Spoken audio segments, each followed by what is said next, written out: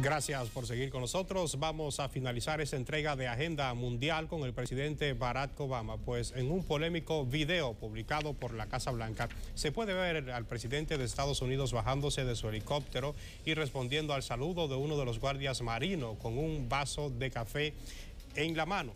El gesto que contraviene las reglas castrenses indignó a muchos militares, políticos e internautas que eh, publicaron fuertes críticas en las redes sociales.